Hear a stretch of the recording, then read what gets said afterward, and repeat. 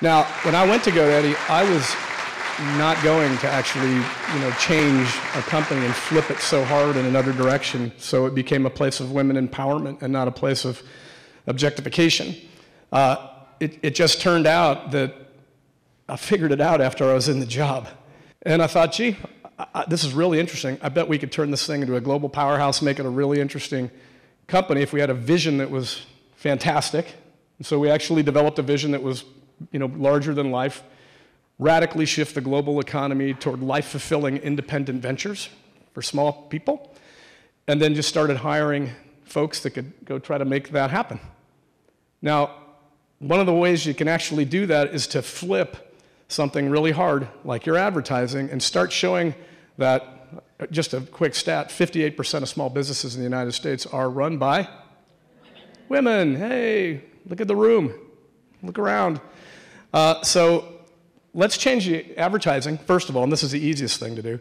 Change the advertising so when we show ourselves, and by the way, the company was pretty diverse and actually had a, you know, 20, 20% women employees. And strange, strangely enough, they, they were kind of ashamed of the advertising. And when they had a conversation with somebody, it would start with an apology. You know, sorry, I know they're offensive, but, you know, and they were, women were called GoDaddy girls. They felt pretty bad about that. So we just flipped the advertising and showed women as small business people that were fighting the fight, you know, making, making life happen for their families. Uh, and it was, that was re- really, really simple. Now, I'll forward to the first conversation I had with uh, Maria. So Maria tells her husband that she's going to meet with the CEO of GoDaddy. What? And, and Maria's husband says, GoDaddy? They're a horrible company. horrible. But she, she kept an open mind, and I had a conversation with her, it's got to be almost five years ago.